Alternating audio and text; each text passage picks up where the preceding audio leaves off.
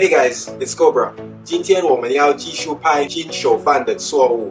今天的问题跟肌肉无关，其实是一个脑袋的问题、看法的问题。英文有一句话说 “Putting the cart before the horse”，中文应该是本末倒置。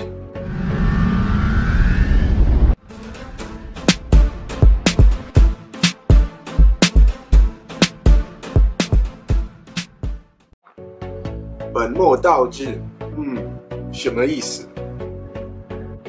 你通常会听饮食比锻炼还重要，这个概念我自己觉得没有那么有道理。为什么呢？因为饮食跟锻炼的影响是完全不同的。如果你饮食方面非常完美、很理想，你吃的都满赞，然后你都没有锻炼，你知道吗？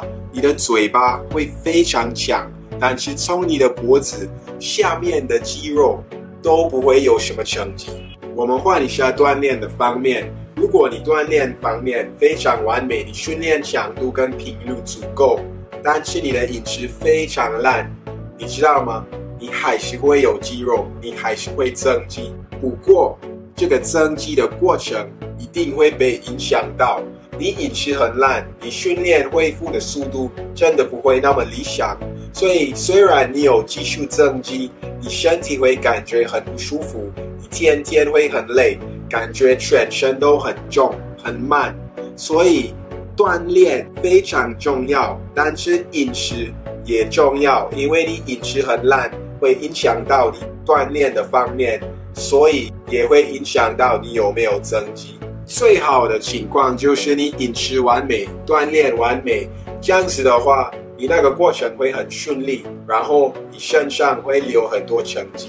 关于增肌这个问题啊，饮食的影响是间接，并不是直接，锻炼才有一个直接的影响。你们不要把锻炼放在后面，对增肌锻炼是第一名，饮食是第二名。饮食是为了增加你锻炼的那个表现，但是你不能吃到壮。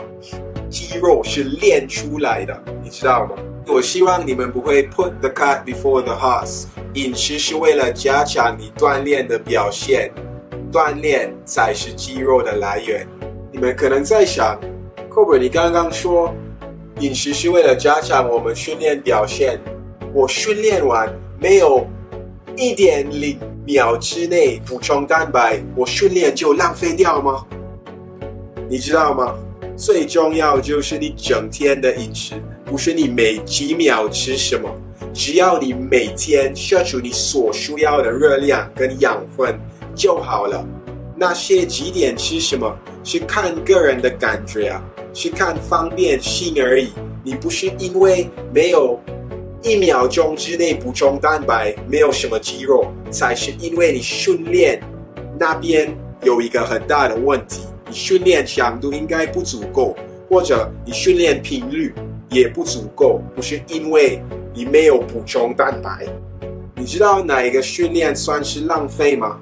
就是你没有做到那个训练。我给你们一个例子，像我，我都是空腹训练，为什么？因为我训练前吃东西，我会感觉很不舒服，这个会影响到我训练的表现，所以我都不吃。